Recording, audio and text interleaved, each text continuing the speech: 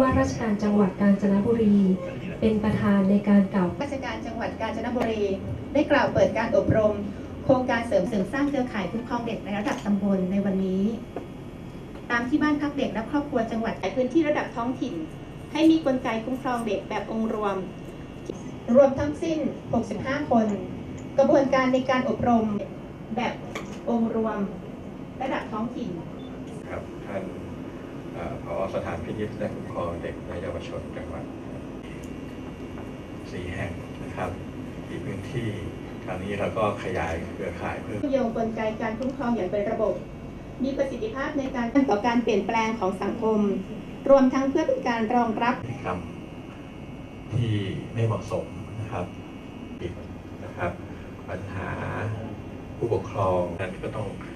ส่วนราชการอื่นก็ต้องไปพัฒนาศักยภาพ ให้เขาให้ประชาชนชั้นกลางกับระดับล่างเนี่ยนะครับ มันมีอะไรกันลงทะเบียนบางทีก็เป็นคนทำงานต้อง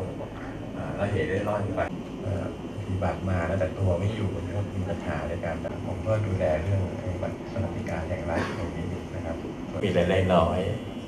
ปีไม่ถึงสามหมื่นอย่างเงี้ยนะครับผมคิดว่าที่ทั้งนั้นก็ต้องอยู่ที่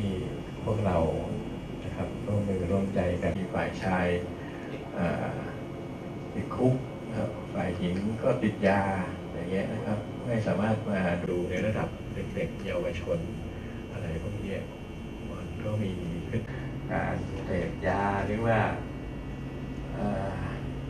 าคณะทำงานคุ้มครองเด็กระดับตำบลจำนวน 16 พื้นที่เป้าหมายไปอภิปราย พร้อมทั้งฝึกปฏิบัติให้ทำใน ห่วงต่อไปที่มาหาไม่รู้ว่าผมตกใจ